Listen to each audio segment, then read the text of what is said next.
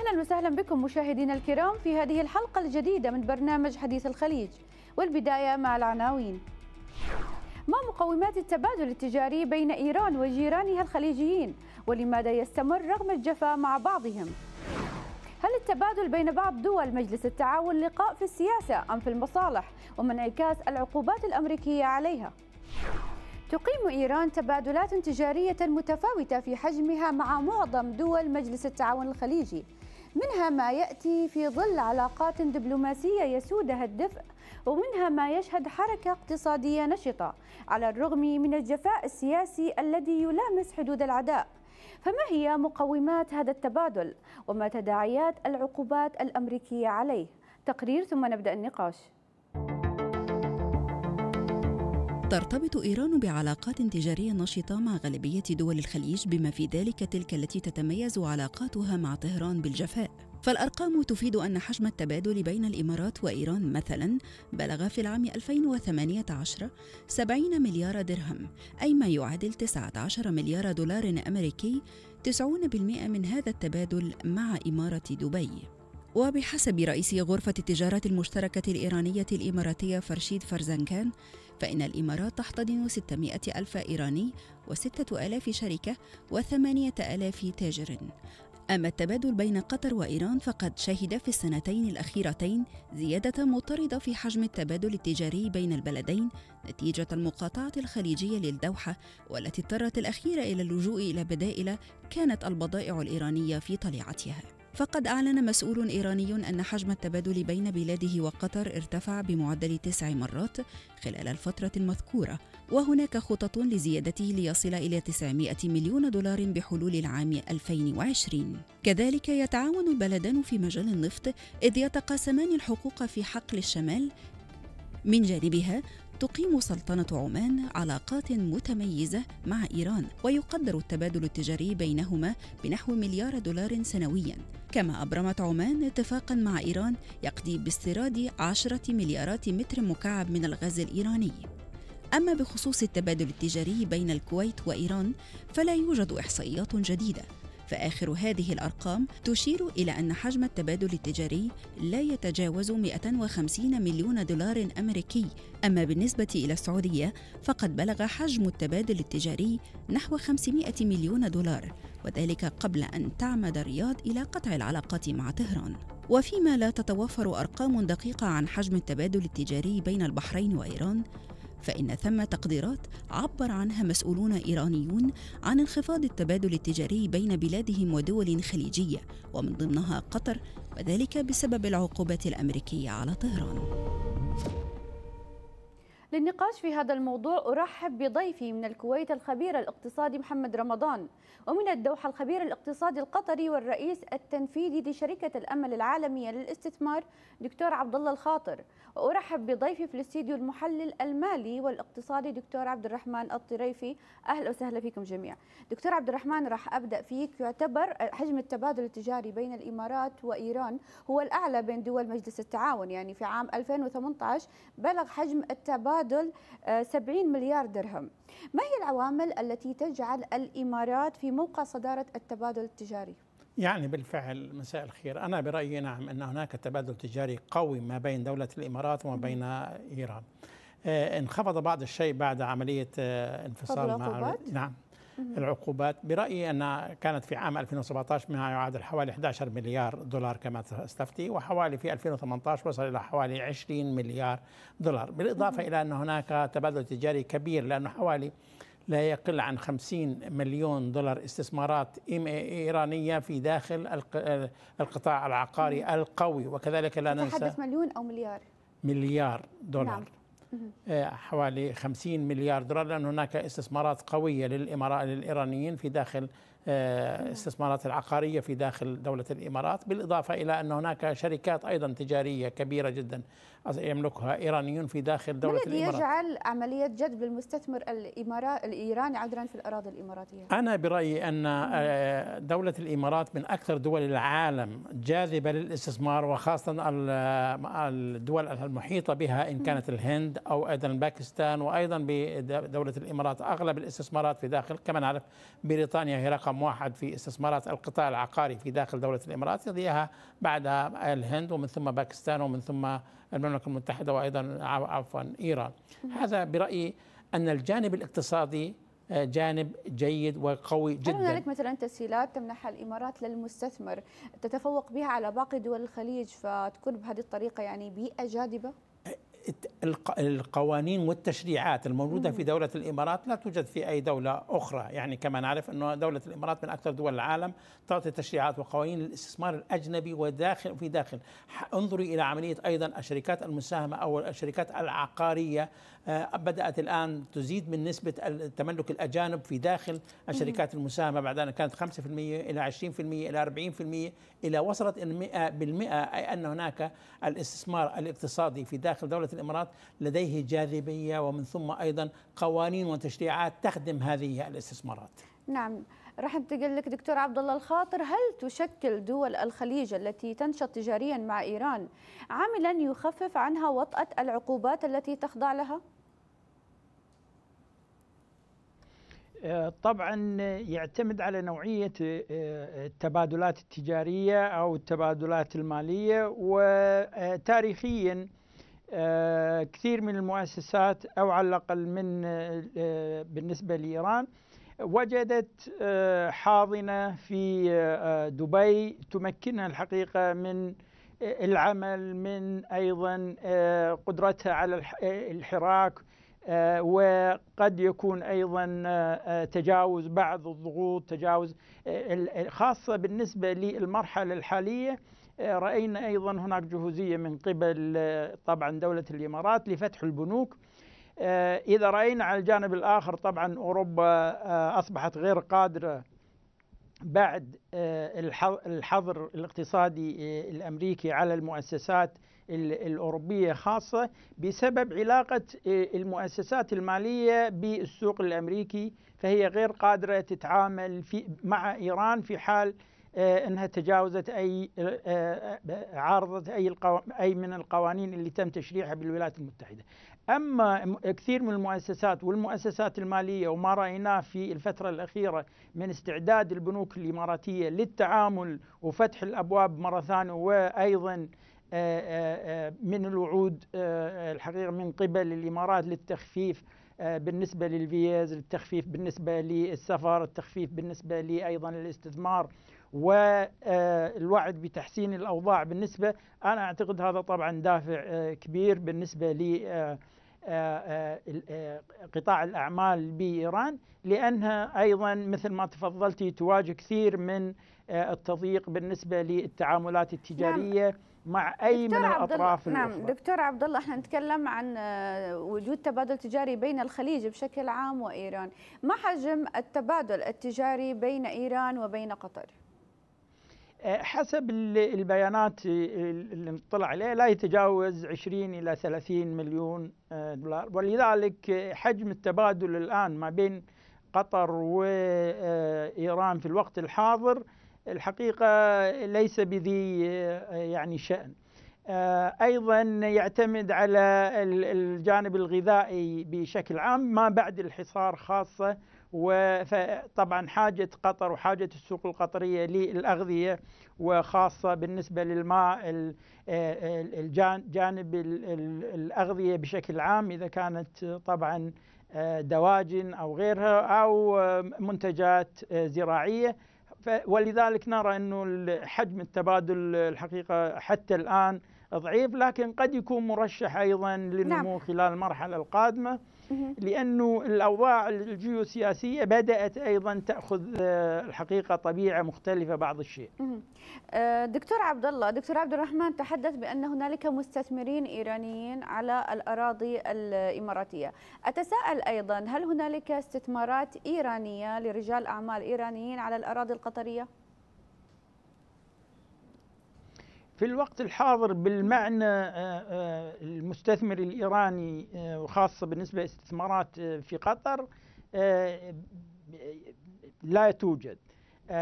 لكن هل هذا مرشح لي أيضا التغيير بحكم التغييرات اللي نراها أيضا من قبل دول الحصار اللي أيضا يعني أبرزت جانب العلاقات القطرية الإيرانية؟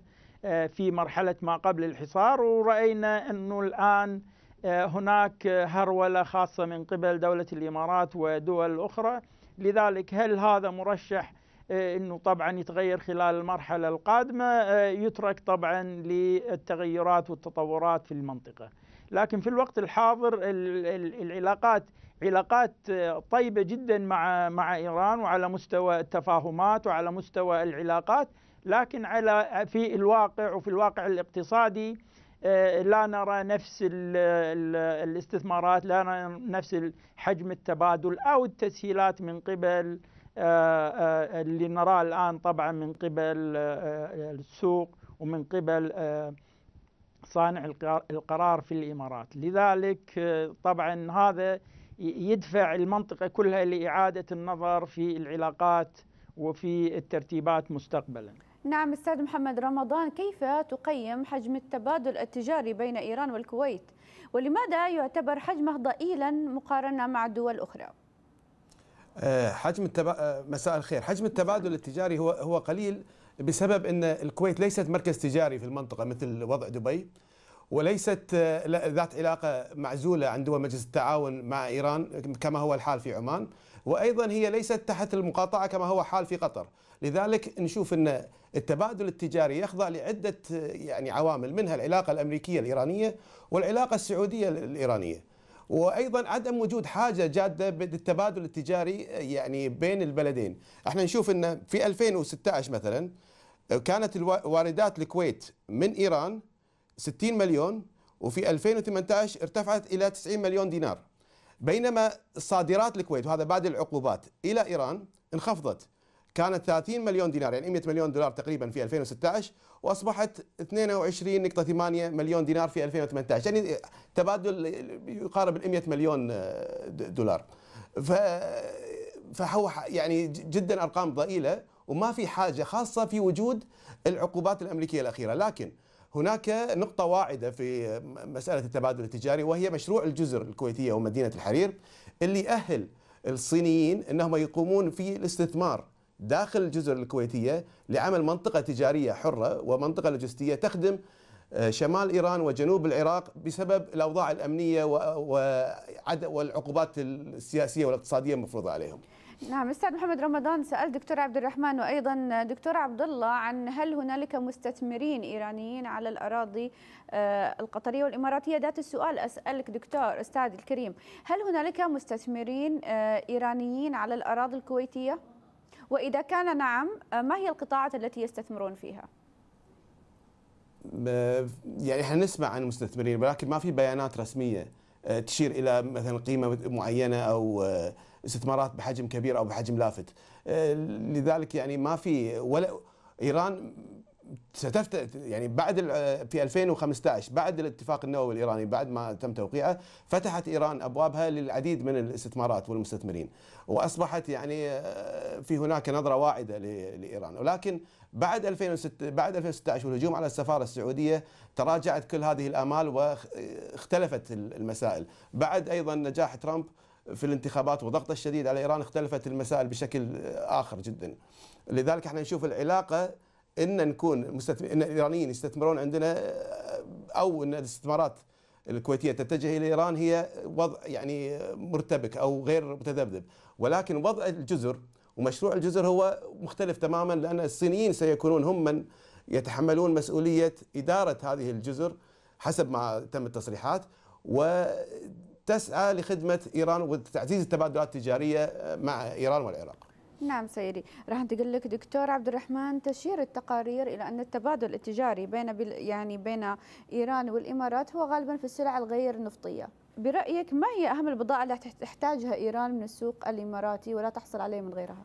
أنا بدي اعلق أعلق بعض الشيء على ما قالوا الإخوان دكتور عبد الله الخاطر؟ نعم. تفضل. برأيي أن القوانين والتشريعات في دولة الإمارات مع أنها تلتزم التزام كامل بالمقاطعة والعقوبات الأمريكية إلا أنه كما نعرف أن قوانين التشريعات في دولة الإمارات أيضا في دولة قطر تح يعني تعطي انطباع بأنه هناك أيضا دخول شركات أجنبية وبالإضافة إلى استثمارات أجنبية في داخل سوق الإمارات أو سوق قطر سوق قطر الشركات المساهمة مم. سمحت في الآونة الأخيرة بتملك الأجانب بنسب عالية أيضا كانت هذه غير موجودة لكن الآن هناك إيرانيين كثر يتملكون أسهم في داخل شركات المساهمة الموجودة مم. في قطر نعم. كما نعرف أن الكويت لا تسمح بهذه الخاصية بعملية تملك أجانب للشركات المساهمة الكويتية لكن دولة الإمارات تسمح بشركات لدي سؤال دكتور نعم. يعني هل القوانين في الإمارات تختلف من إمارة إلى أخرى؟ آه لا هي قوانين في هناك قوانين اتحادية. بالعكس آه، قوانين اتحادية هي تسري على جميع دولة الإمارات. لكن نعم يوجد هناك قوانين وتشريعات تختلف من سوق إلى آخر. حتى مثلا سوق دبي سوق أبو ظبي. هذا هو السؤال. أنا نعم. مثلا أشوف بأن دبي مثلا جاذبة للاستثمارات بشكل أكثر آه، من غيرها من يعني من الإمارات العربية نعم. يعني. كانت يعني كنا ننادي بأن يكون هناك نوع من التشريعات والقوانين الواحدة إن كان في سوق دبي أو سوق أبو ظبي، لكن مثلا سوق أبو ظبي يختلف عن سوق دبي، حتى شركات المساهمة اللي في داخل سوق دبي تختلف عن الشركات في أبو ظبي أيضا. الآن في الآونة الأخيرة بدأ عملية انفتاح أيضا في سوق أبو ظبي في آه، إمارة أبو ظبي في عملية إيجاد أيضا مشاريع استثمارية كبيرة. انظري الآن حوالي أعطت حكومة أبو ظبي للمملكه العربية السعودية تسهيلات كبيرة في الاستثمارات في داخل أبو ظبي لمدة ثلاث سنوات بدون عملية آه، رسوم ولا أي جمارك ولا أي شيء آخر.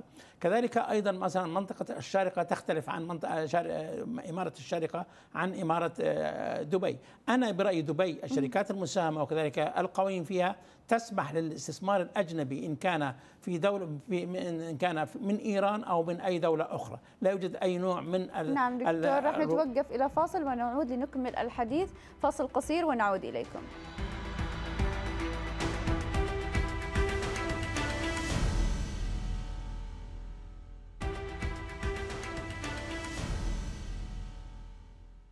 عدنا بعد الفاصل. دكتور عبد الرحمن قبل الفاصل كنت تتكلم عن قوانين التملك في الإمارات. نعم يعني كما نعرف أن هناك قوانين التشريعات القانونية مثلا في مناطق حرة كثير في منطقة دولة الإمارات حوالي 22 منطقة حرة تسمح بدأت مثلا جبل علي الآن هناك تملك للأجانب بحدود 100% أي أن هناك لا يوجد أي نوع من عملية الكفيل أو من عملية الشريك بالعكس 100% وهذا جذب شركات عالمية وأرقام عالمية أيضا وهذا من ناحية. الناحية الأخرى انظري إلى ما هي أصلا تقوم دولة الإمارات بعملية التصدير إلى دولة إلى إيران. إيران هي إعادة تصدير فقط لا غير. أنا كنت أتكلم قبل الفاصل نعم. سألتك عن بأن هنالك تقارير تشير إلى أن أغلب التبادل التجاري في سلع غير نفطية. نعم.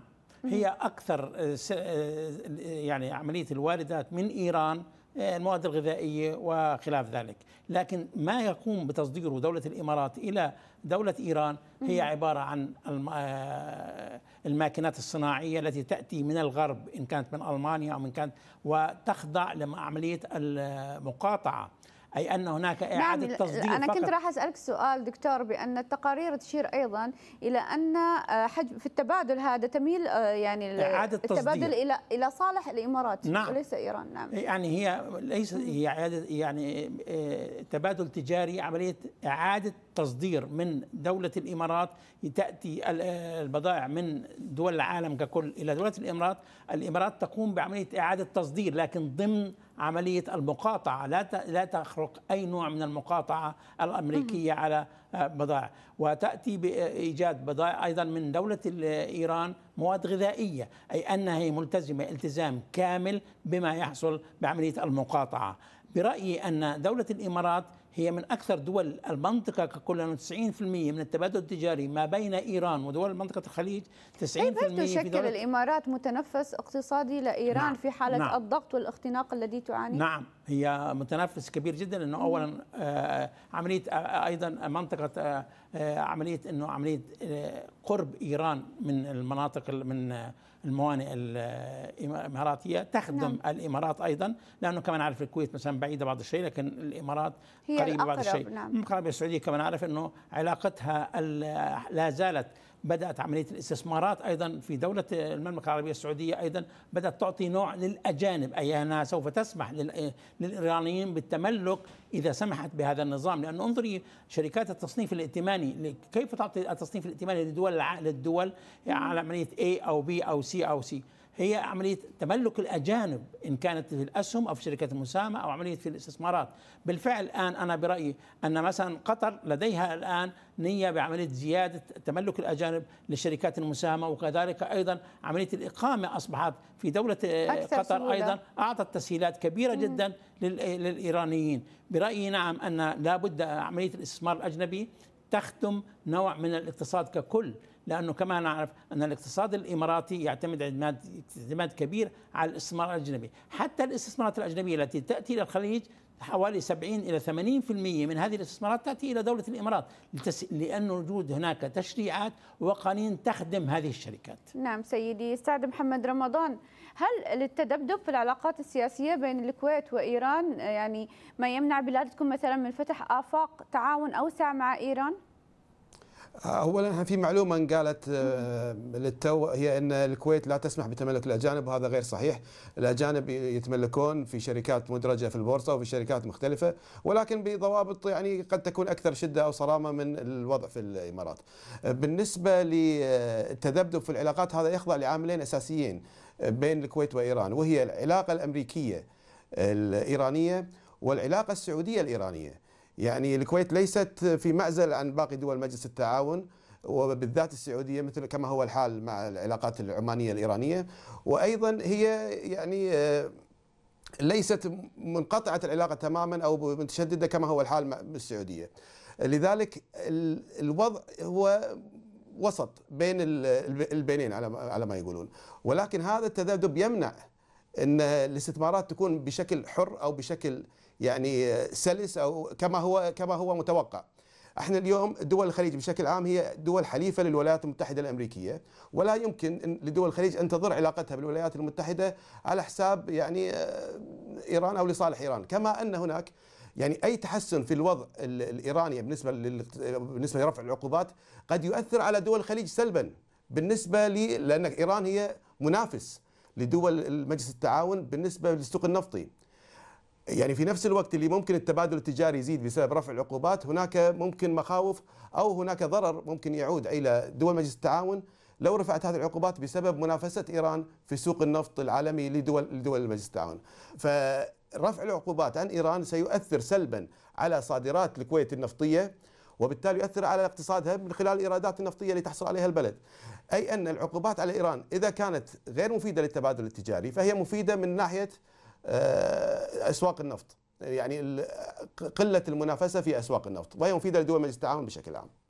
نعم. دكتور عبد الله الخاطر كيف توازن قطر بين جودة علاقاتها مع إيران وتحالفها القوي مع الولايات المتحدة؟ آه، قطر آه، استطاعت في خلال العقود الماضية من خلق توازنات ترضي كلا الجانبين. اليوم أيضا نشوف آه، الولايات المتحدة في آه، تفاوض للخروج من أفغانستان آه، أيضا في مفاوضاتها مع طالبان في الدوحة. معظم الحقيقة قطر كان لها دور وطبيعة قطر مكنتها الحقيقة خلال المرحلة الماضية من إحلال الأمن والسلم في مختلف من دارفور إلى الصومال إلى لبنان. شفنا قطر تقوم بنفس الدور. الآن قطر أيضا تملك مفاتيح العلاقة ما بين طبعا إيران ما بين تركيا ولكن أيضا في نفس الحديث بنفس النفس آه، آه، لم تأخذ خطوات تزعج الولايات المتحدة بشكل أو بآخر. يعني كما رأينا آه، الإمارات كانت متقيدة بالحظر الاقتصادي ودفعت الاقتصاد الإيراني إلى الحقيقة إلى مراحل صعبة بالنسبة لقدرة الاقتصاد الإيراني للحصول إما على قطع الغيار أو على القدرة على تحريك رؤوس الأموال. لكن ما بعد آه، سقوط الطائرة المسيرة رأينا هناك الحقيقة آه، آه، لحظة فارقة ولحظة أيقنت فيها الإمارات أن الولايات المتحدة لن تقوم بضرب أو مهاجمة إيران.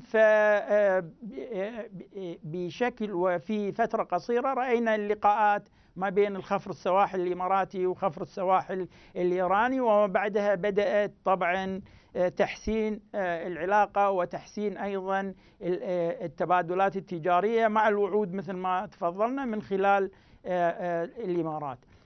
في في اللحظات هذه الحقيقة إذا كانت دول المنطقة تتقيد ولو إلى درجة بإيقاع العلاقة ما بين الولايات المتحدة وإيران وما بين النظام السعودي وإيران فإن الإمارات الحقيقة في اللحظة هذه تخلت عن كلا الحليفين وبدأت تأخذ خطوات متفردة بالنسبة لتحسين علاقاتها مع إيران بعد أن فقدت الأمل خاصة بالنسبة لاستراتيجيتها في إحداث دكتور عبد الله نحن نتحدث ما بين الولايات دكتور عبد المتحدة الله وإيران. دكتور عبد الله أنت اقتصادي مفترض أن تتحدث عن التبادل التجاري بين قطر وإيران. لدي دكتور عبد الرحمن الطريفي يتحدث صحيح. عن التبادل التجاري بين الإمارات وإيران أيضا. نعم. لكن أيضا لابد نذكر البواعث خاصة في في عند الحديث بالنسبة للحظر الاقتصادي والتغيير في العلاقة، يعني ما قبل لحظة آه، آه، عدم المواجهة ما بين الولايات المتحدة وإيران رأينا اختلاف خاصة بالنسبة للسياسات الاقتصادية ولمستوى آه، آه، التبادل التجاري. ما قبله كان طبعا له آه، آه، آه، حيز وكان آه، مؤطر بشكل آه، يتماشى مع ال- الحظر الاقتصادي. وإحنا الآن نتكلم عن الحظر الاقتصادي وتداعياته على الاقتصاد الإيراني ومن ثم أهمية ال- ال- التبادل التجاري مع دول الخليج.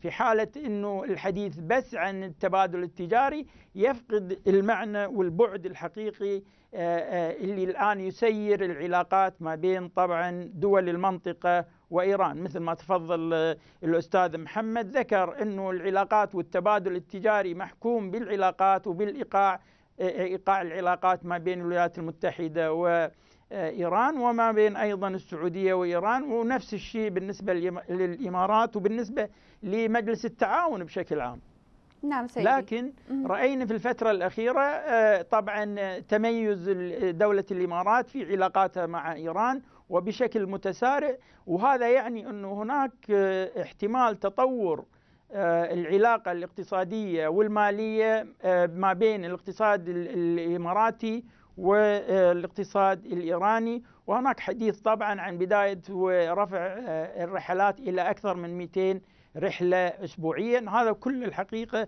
أتى في الفترة الأخيرة ما بعد آه، طبعا الأحداث الأخيرة بالنسبة لإسقاط الطائرة المسيرة على الأجواء الإيرانية. نعم. لذلك آه، آه، نرى أنه ال- التبادل التجاري مرتبط في الحالة الجيوسياسية وع- آه، ومن المستحيل الفصل فصل الط- آه، آه، والجو ال- المناخ المناخ المنطقة بشكل عام عن مستوى آه، طبعا التبادل التجاري. نعم سيدي دكتور عبد الرحمن هل تعزل الإمارات خلافاتها السياسية مع إيران عن مصالحها الاقتصادية أيضا لديك رد أو تعقيب؟ أنا برأيي أن دولة الإمارات من أكثر دول العالم المرتبطة والقوية بعملية المقاطعة الأمريكية إلى إيران. بالعكس أنا برأيي أن دولة الإمارات تحاول جاهدة أن تكون أن تخدم ال- الشعبين وليس الحكومات.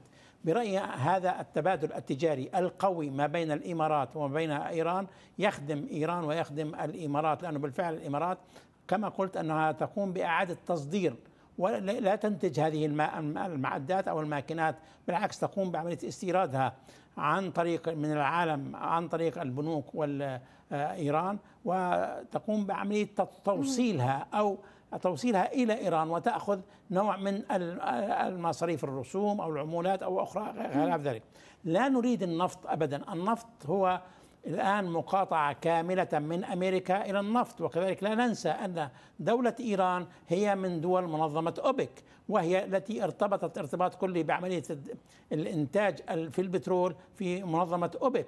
وكذلك أيضا عملية التصدير والإستيراد بالنسبة لإيران لا تعطي نوع من دولة دول الخليج بالنسبة للنفط. بالعكس هناك آه، تبادل تجاري استيراد من إيران للمواد الغذائية وتصدير ما يقوم بإعادة تصديره من دول أوروبا ككل. حتى البضاعة التي تأتي من أمريكا وتوافق عليها أمريكا بإعادة تصديرها إلى إيران أين أيضا أن دول أن دولة الإمارات من أكثر الدول الملتزمة التزام كلي بعملية المقاطعة. هذا من ناحية ومن ناحية أخرى لكن الاستثمارات الأجنبية أنا برأيي دول مجلس التعاون الخليجي الآن جاهدة كل الجهد بعد خفض سعر النفط أدى إلى نوع من عملية لابد من جذب الاستثمارات الأجنبية، لأن الاستثمارات الأجنبية أيضا تخدم وأعتقد الدول. بأن هنالك خطوات حقيقية تقوم بها دول مجلس التعاون في هذا الجانب. نعم، انظري إلى المملكة العربية السعودية، نعم صحيح. انظري إلى دولة الإمارات مم. فقط لا غير قبل يومين أن هناك كان بنك الإمارات دبي الوطني لا يسمح إلا ب 5% للأجانب كان السعر ب 11 درهم 11 درهم ونص مجرد ما أنهم أعطوا توصية بإزادة عملية الأجانب 20% ومن ثم آه، أيضا آه، ارتفاعها إلى 40% ارتفع سعر السهم الواحد ما يعادل حوالي إلى 14 درهم أي حوالي أكثر من 25% في أقل من يومين. هذا هو الاستثمار الأجنبي. دولة الإمارات من أكثر دول العالم التي تأتي بنوع من قوة الاستثمار الأجنبي على المنطقة. انظري الآن القطاع العقاري. القطاع العقاري بعد أن بدأ نوع من الت... عندي سؤال قبل ما أنتقل للأستاذ محمد رمضان. نعم. لماذا يعتبر أو لماذا السوق الخليجي جاذب بشكل كبير إلى المستثمر العالمي؟ لديه السيولة. مم. هذا أهم شيء وعملية التأمين. لأنه بالفعل السيولة الموجودة في منطقة الخليج لا خوف على أي بنك يقوم بعملية آه، فتح بنك أو توسعه بنوك عملية الاستثمارات الأجنبية أيضا عملية الشركات المساهمة العامة أو الشركات التي تقوم بجبل علي هل يعتبر السوق الخليجي الأكثر استقرارا في المنطقة؟ نعم أكثر استقرارا بالفعل آه، منطقة الخليج دولة الإمارات يعني تحاول جاهده أن تكون إيجاد يعني عملية توازن في منطقة الخليج ككل مع الدول الثانية أيضا انظري الآن الاقتصاد السعودي مع الاقتصاد الإماراتي أصبح من أقوى الاقتصادات أيضا لأنه بالفعل أصبح الآن جذب استثمار أجنبي. وانظري عملية آه، آه، عملية 20 30 للسعودي. نعم. وصل في يوم واحد مجرد أنها انضمت إلى ام اس سي سي اي اللي هي آه، شركة مؤشر الاستثمارات الأجنبية. 28 مليار ريال في يوم واحد استثمار. لأن هذا الاستثمار يأتي لأن الصناديق الاستثمارية الأجنبية أيضا لديها رؤية واضحة. من هو الاقتصاد القوي؟ من هو الاقتصاد الذي ليس عليه أي نوع من الخطورة؟ أنا برأيي أن منطقة الكويت من أكثر دول الخليج كانت أيضا سباقة للاستثمار سباقة لكن عملية عفوا هناك تشريعات وقوانين والحكومة الكويتية. أدت إلى نوع من التباطؤ في الاستثمار. انظري إلى الاستثمارات الكويتية في داخل دولة الإمارات. في داخل دولة الإمارات استثمارات قوية وكبيرة جدا. انظري الاستثمارات الأجنبية السعودية في داخل دولة الإمارات. لكن مثلا الاستثمارات الإماراتية في داخل الكويت بسيطة جدا. في داخل المملكة العربية السعودية بسيطة جدا. لكن دولة الإمارات بتشريعاتها وقوانينها وسهولة الاستثمارات فيها هي التي أدت إلى جذب استثمار واستثمار أجنبي وأدى إلى نوع من الارتفاع في عملية الناتج المحلي وكذلك إلى على عملية الأفراد ككل. نتوقف إلى فاصل، فاصل قصير ونعود إليكم.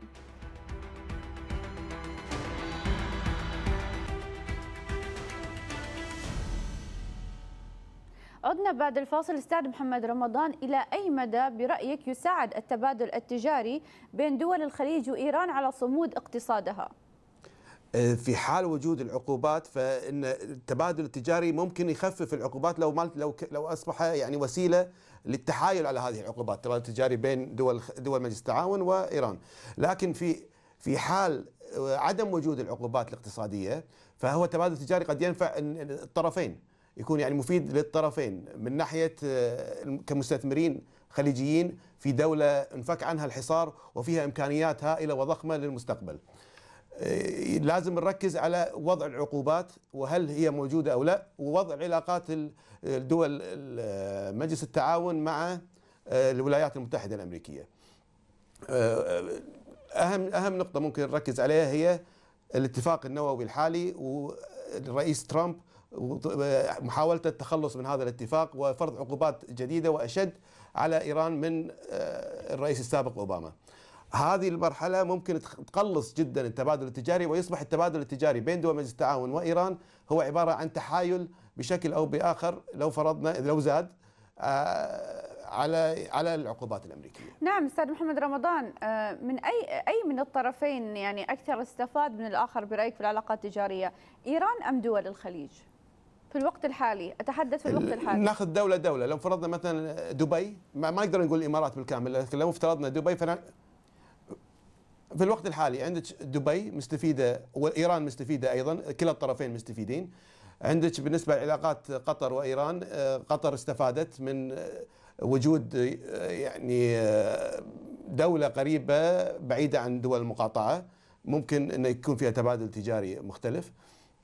بالنسبة للكويت ما الكويت بالعكس لم تستفيد يعني بالنسبة لهذه المقاطعة الموجودة والعقوبات الجديدة لأن الاستفادة الحقيقية هي فقط في عدم وجود أو يعني آه، تقليل قدرة المنافس على تصدير النفط. أما بالنسبة للتبادل التجاري فالكويت لا تزال لا تستفيد كثيرا من العلاقات الإيرانية الكويتية بسبب الخلافات الأمريكية الإيرانية والسعودية الإيرانية أيضا.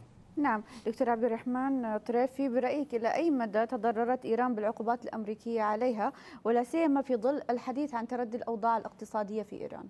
بالفعل هذا سؤال كثير كثير مهم وأنا بدي أجاوب عليه بطريقة يعني أنا برأيي أن إيران نعم آه لم تستفد من الواقع الوضع الحالي بالعكس تضررت كثيرا من العقوبات لكن السياسة الإيرانية الغير مفهومة هي التي أضرت بالاقتصاد الإيراني الاقتصاد الإيراني الآن يعاني معاناة كبيرة جدا لأنه كما نعرف أن السياسة في دولة آه، إيران للأسف هناك ميزانيتين في دولة إيران ليست ميزانية واحدة م. ميزانية واحدة دولية حوالي 96 مليار دولار وميزانية مؤسسة الخميني حوالي 105 مليار دولار أين تذهب هذه الموازنة؟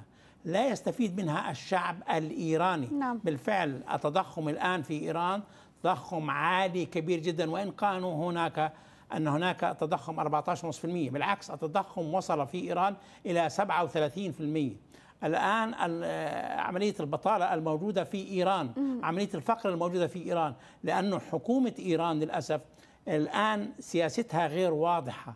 بالعكس يجب أن تمد يد التعاون مع دول الجوار وخاصة دول الخليج نعم. لكن بطريقة هذه بطريقة إيران أضرت إيران بنفسها أكثر من أي دولة أخرى لأن العقوبات الآن التي فرضت على إيران هي من قام بهذه العقوبات آه، الإيرانية لأن انظري آه، آه، قيمة التومان الآن مقابل نعم. الدولار عملية يعني انخفض بشكل كبير لا جدا شطب أربع أصفار مم.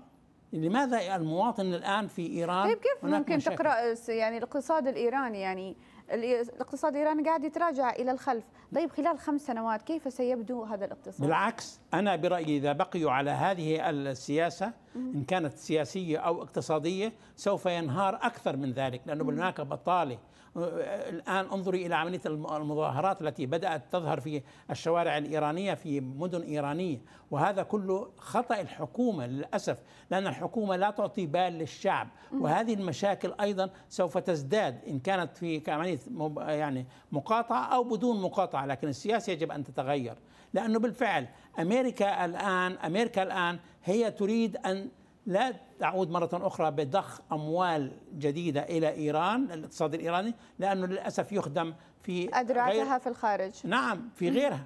آه، يعني كل هذا الفقر الموجود في إيران كل هذا البطالة الموجودة في إيران والآن إيران تقوم بدفع عفوا آه، دعم الحوثيين دعم آه، الجماعات يعني الإرهابية الموالية لها في الخارج. بالزبط. فهذا أيضا للأسف يجب أنه في إيران يعني يأخذ قاطع مقاطعة جديدة الآن.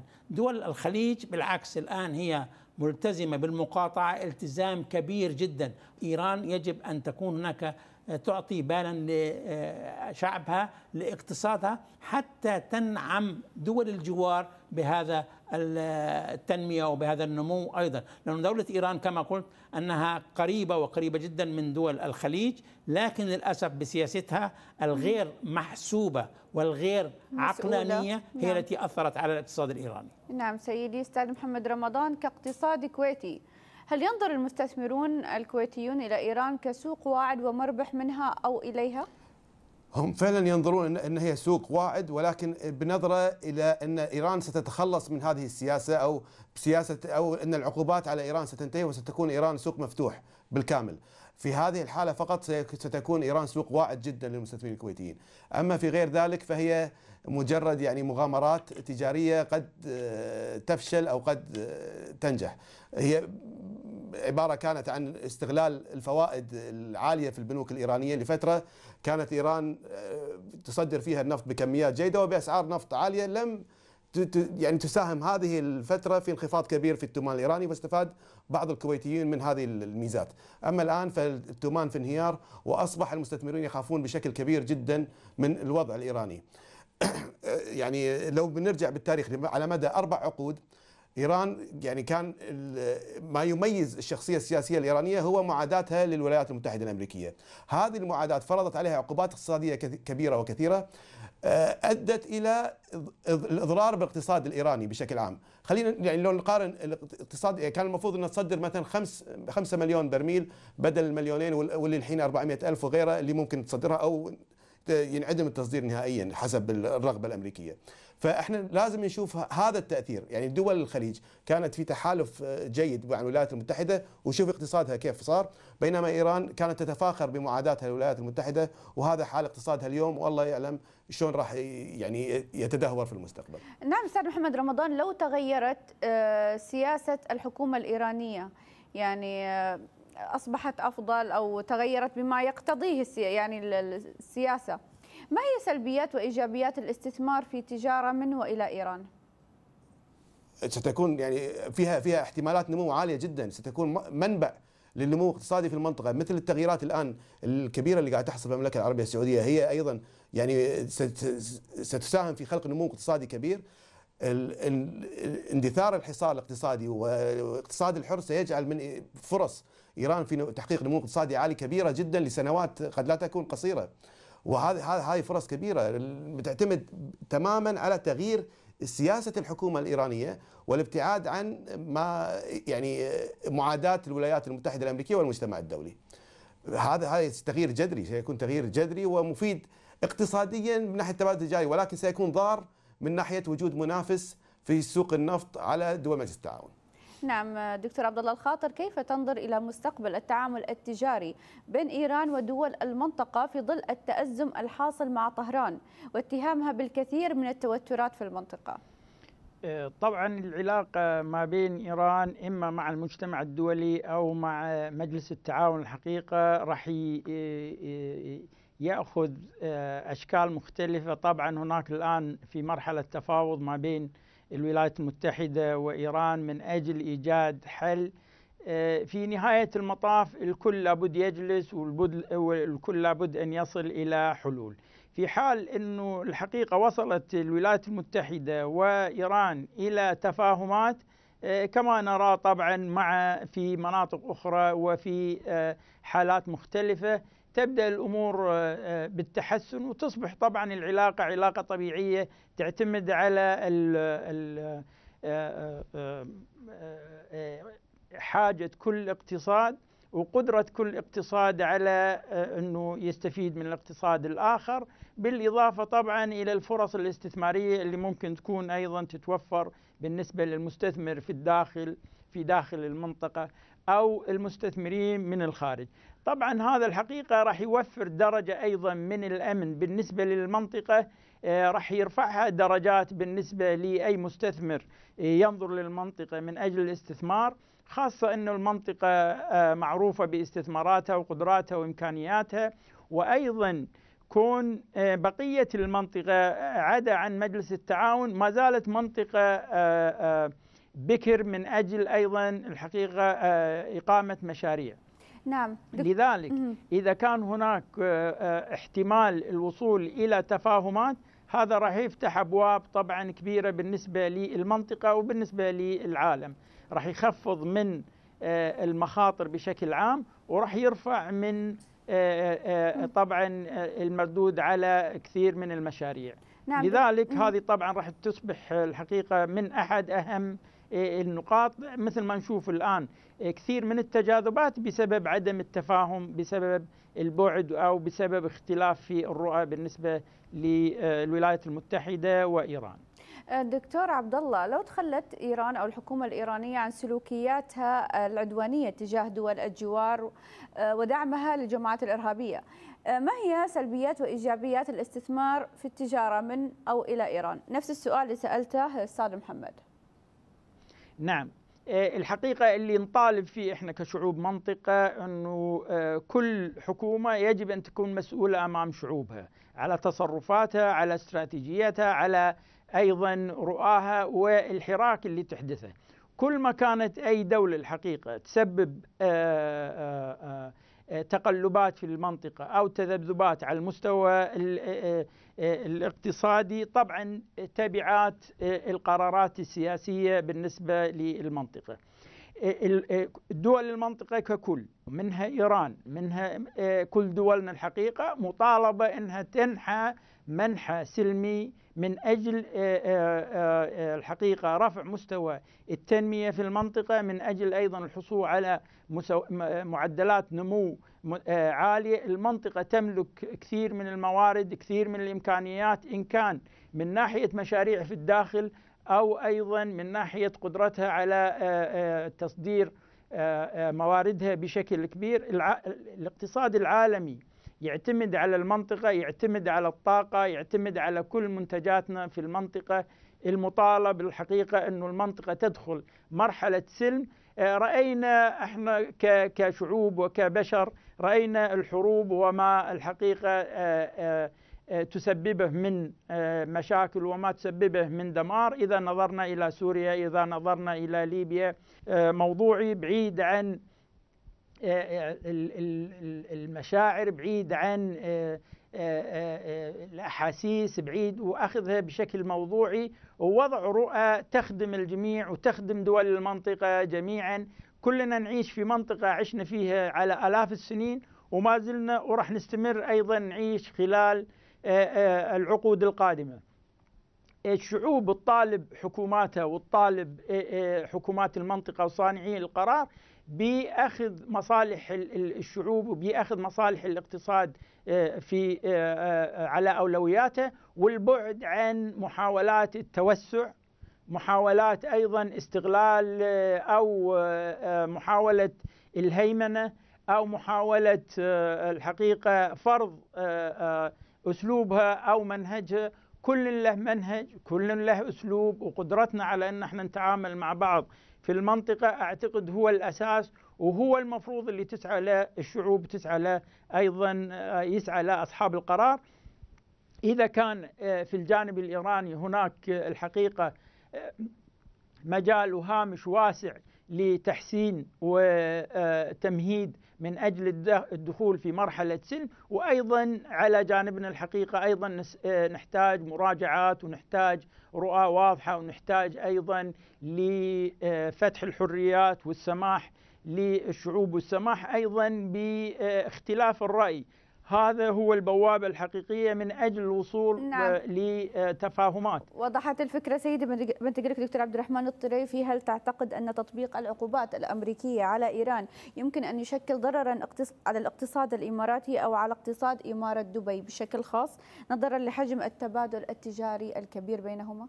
بالعكس يعني دولة الإمارات هي أصلا في مصلحتها أن تقوم بعملية إعادة تصدير والاستفادة من ذلك لكن أنا بدي أجاوب على شيء بسيط جدا م.